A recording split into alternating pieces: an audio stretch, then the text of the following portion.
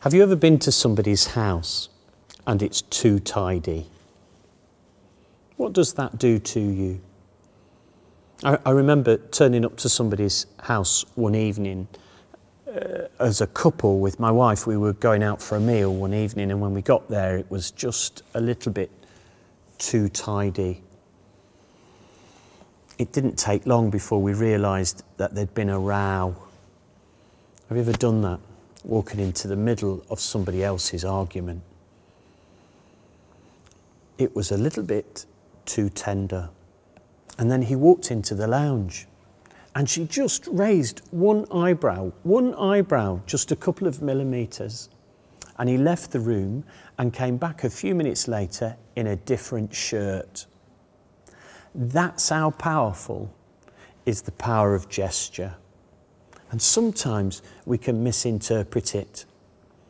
The church is not too tidy for you or your children.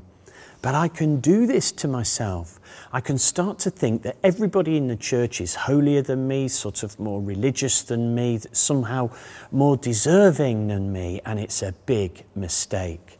I remember when the kids were little, you know, if I made the mistake of shutting my eyes and praying and then looking up again, at least one of my children would be three pews away waving at me.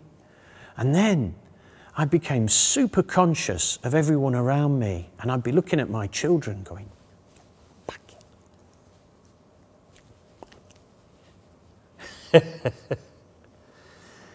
Anxious about what everybody else is thinking about my parenting. Now, here's the thing I had the wrong idea about what holiness is. Pope Francis teaches us in his latest exhortation, that's a, a, document he writes for us, and he, he says in his exhortation, it's quite interesting, he says, Holiness is you being yourself. It's not what I grew up thinking. I sort of imagined that to be holy was to, to be like somebody who seemed more religious than me. St. Paul prays that our inner self grows strong. Our inner self being the real me.